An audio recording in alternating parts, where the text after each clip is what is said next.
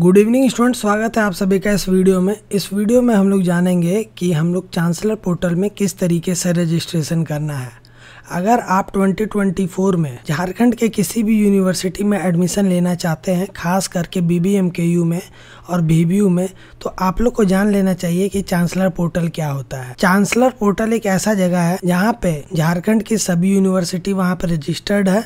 आपको वहाँ पे सारी यूनिवर्सिटी के बारे में इंफॉर्मेशन मिल जाएगा चांसलर पोर्टल पे। तो चलिए हम लोग देखते हैं कि चांसलर पोर्टल पे कैसे रजिस्ट्रेशन करते हैं। सबसे पहले आप गूगल में आ जाएँगे। गूगल में सर्च करेंगे चांसलर पोर्टल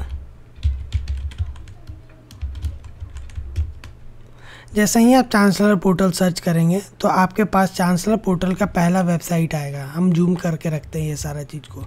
जूम करते हैं, देखिए यहाँ पे चांसलर पोर्टल का पहला आपको आ जाएगा तो इस पर आपको बस क्लिक करना है। इसमें हम आपको रजिस्ट्रेशन का प्रोसेस बताएँगे। फॉर्म फिलअप का प्रोसेस दो तारीख को बताएँगे, क्योंकि दो तारीख से आप लोग का जो है चांसलर पोर्टल ओपन होगा। अभी देखिए क्या है कि आपका जब चांसलर पोर्टल का पहला वाला साइट पे ओपन करेंगे तो आपका कुछ ऐसा खुल जाएगा। है ना, यहाँ पे आपको सारा चीज़ का इन्फॉर्मेशन मिल जाएगा, जैसे कि देखिए, यहाँ पे कुछ अनाउंसमेंट लिखा हुआ है। अनाउंसमेंट ये है कि आपके कॉलेज में जिस प्रकार का भी एडमिशन चालू होता है यूजी का, चाहे पीजी का, अभी यूजी का चालू होगा तो आपको यहाँ पे दिख जाएगा। यहाँ पे जो इन्फॉर्मेशन है क्लिक केयर करेंगे तो आपको दिख जाएगा कि कौन सा कॉलेज का है, किस चीज़ के लिए है यूजी की पीजी के लिए, कब से लेके कब तक खुला हुआ है तो ये सारा चीज़ आपको दिख जाएगा एप्लीकेशन ओपन स्टेटस तो सभी कॉलेज में जो जो यूनिवर्सिटी में ये सारा चीज़ का एडमिशन का प्रोसेस चालू होता है तो वो यहाँ पे आपको शो होता है. तो अभी चालू नहीं हुआ है, दो तारीख से बाद से चालू हो जाएगा। तो हम लोग दो तारीख को भी एक बार देखेंगे। फ़िलहाल हम लोग पहले रजिस्ट्रेशन कर लेते हैं कि कैसे करना है। सबसे पहले रजिस्ट्रेशन करने से पहले आपको देखिए क्या करना होगा। यहाँ पे जो do not have an account sign up करिए या फिर स्टूडेंट साइन अप करिए। दोनों में से कोई सा भी बटन को दबाएँगे तो आपके पास सेम ही पेज ओपन होगा। तो इससे पहले आपको क्या करना है कि यहाँ पे फॉर्म फिलअप करना है। यहाँ पे अभी आप फॉर्म फिलअप करेंगे तो आपका रजिस्ट्रेशन नंबर आपको मिल जाएगा। सबसे पहले देखिए आपको यहाँ पे क्या करना है, आपको अपना नेम लिखना है। जैसे कि मेरा नाम है गौरव, ठीक? गौरव कुमार, हम, हमको अपना नाम लिखना है, फिर हमको अपना रजिस्टर्ड ईमेल जो भी आप यहाँ पे देंगे, वो एकदम रजिस्टर्ड होना चाहिए। इसलिए रजिस्टर्ड होना चाहिए क्योंकि आप लोग का चार साल का ग्रेजुएशन है। इस ग्रेजुएशन के दौरान आपको ये ईमेल आईडी और यूज़र नेम का ज़रूरी टाइम टाइम पे पढ़ते रहेगा। तो इसलिए आप लोग अपना वेरीफाइड ईमेल एड्रेस दे, जो आप लोग चलाते हो। जैसे कि हम अभी देते हैं, धनबाद मैथ्स अकेडमी ये दे दे। दे दिए, ठीक? और उसके बाद अभी हम अपना यूज़र नेम चूज़ कर लेते हैं। जैसे कि आप लोग अपने हिसाब से चूज़ करेंगे, हम यहाँ पे अपना बना रहे हैं। यूज़र नेम चूज़ करने से पहले देखिए, आपको क्या यहाँ पे कुछ लिखा हुआ है रेड कलर से। यूज़र नेम जब भी आप चूज़ करेंगे तो ए से लेकर जेड तक के बीच का अल्फ़ाबेट रहेगा। उसमें से आप ज़ीरो से लेकर के नाइन तक जैसा चीज़ों को डाल सकते हैं। या फिर आप इस तरीके का, जैसे कि एग्ज़ाम्पल में भी दिया हुआ, कुमार अंडर स्कोर वन इस तरीके से आप यूज़र नेम बना सकते हैं। तो हम अभी बनाएँगे, हम कुछ उस तरीके का नहीं बनाएँगे, हम जो बनाएँगे। और हाँ ध्यान रहे कि आप यूज़र नेम में कैपिटल लेटर का यूज़ नहीं कर सकते हैं। यूज़र नेम में है गौरव फाइव ट्वेंटी सिक्स हम बना लिए, ठीक? जैसे कि ये मेरा यूज़र नेम और इसको जो भी आप यूज़र नेम बनाएँगे तो उसको आप जो है अपने डायरी में या फिर कोई सा भी जगह पे आप नोट करके रखेंगे, जहाँ पे आप जिस चीज़ का आपका इंपॉर्टेंट सा डॉक्यूमेंट जहाँ पे रहता है, उस चीज़ पे आप इसको नोट करके रख लेंगे। जैसे ही आप ये देंगे तो फिर उसके बाद नंबर देंगे।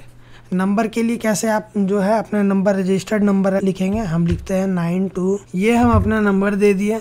पासवर्ड में आप कोई सा भी अपना स्ट्रॉन्ग पासवर्ड चूज़ कर लेंगे, जैसे कि हम चूज़ कर लेते हैं। कोई सा भी आप अपना पासवर्ड चूज़ कर लें, फिर यहाँ पे अपना कैप्चा लिख लें।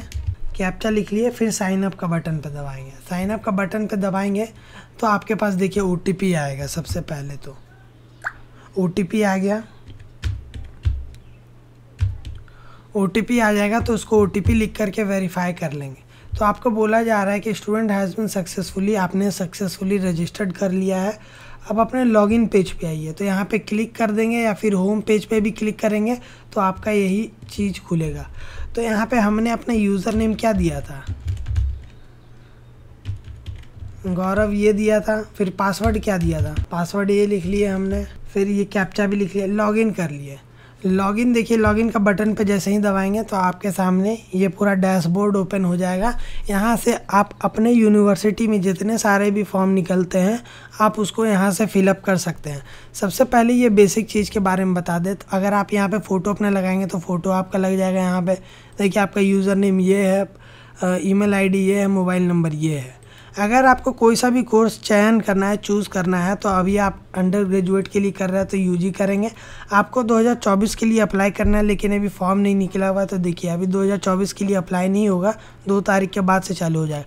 यहाँ पे आपको तमाम सारी यूनिवर्सिटीज़ दिख जाएगी, जो जो चांसलर पोर्टल यानी झारखंड के अंतर्गत आती है। जैसे कि B P V M K U colon university J R S U Jamshedpur women Nilamber Pitamber तो ये तमाम सारी रांची यूनिवर्सिटी रांची विनोवा भावे एस के एम यू तमाम सारी यूनिवर्सिटीज़ जो आती है, इसमें आप लोग फॉर्म भर सकते हैं। फ़िलहाल हम B B M K U का बताते हैं। B B M K U में जैसे ही ये सारा चीज़ हम फिलअप करके सेट सेशन करते हैं और एडमिशन फॉर्म पे जाते हैं तो आपको अभी कुछ नहीं दिखेगा, इसलिए नहीं दिखेगा क्योंकि अभी जो है, अभी आप लोग का फॉर्म फिलअप का डेट चालू नहीं हुआ है। दो तारीख, दो मार्च से चालू हो जाएगा। अभी आप मान लीजिए कि आप अपना मोबाइल नंबर आप लोग को चेंज करना है तो यहाँ पे यहाँ पे आप सेटिंग का एक ऑप्शन दिख रहा है। सेटिंग के ऑप्शन पे आएँगे तो आप यहाँ से अपने मोबाइल नंबर को चेंज कर सकते हैं। फिर आप अपने यहाँ पे ईमेल आईडी को चेंज कर सकते हैं। फिर यहाँ से आप अपने पासवर्ड्स को चेंज कर सकते हैं, जो भी है। तो ये, यहाँ से आप ये सारा चीज़ कर सकते हैं। अगर आप पेमेंट करते हैं तो पेमेंट की हिस्ट्री आपको यहाँ पे दिख जाएगी। अगर आपने कोई फॉर्म फिलअप किया होगा कॉलेज का तो आपको यहाँ पे दिख जाएगा एप्लीकेशन व्यू एप्लीकेशन पे। तो ये था आप लोग का जो है रजिस्ट्रेशन का प्रोसेस कि चांसलर पोर्टल में किस तरीके से रजिस्ट्रेशन कर लेते हैं। अभी हम लोगों ने फॉर्म नहीं फिलअप किया है। फॉर्म फिलअप करेंगे दो तारीख को, है ना? जैसे ही आप लोग का फॉर्म का डेट निकल जाएगा तो उस दिन हम लोग फॉर्म फिलअप करके आपको दिखाएँगे। तब तक के लिए वेट कीजिए और उस दिन जब हम फॉर्म फिलअप करेंगे तो उसी को देख करके आप लोग भी अपना फॉर्म फिलअप कीजिएगा ताकि गलती ना हो। और याद रखिए कि यहाँ पे अगर आप गलती कर देते हैं तो आप लोग का चार साल के लिए पूरा चीज़ बर्बाद हो जाता है है ना? डिटेल मिसमैच कर जाता है तो इसलिए इस वाले फॉर्म को एकदम ध्यान से हम लोग को भरना होता है। तो फ़िलहाल इस वीडियो में इतना ही। मिलते हैं अब हम लोग अगले वीडियो में, जिस समय हम लोग फॉर्म फिलअप करेंगे तो वहाँ पर हम लोग दिखाएँगे। फ़िलहाल के लिए इतना ही। धन्यवाद।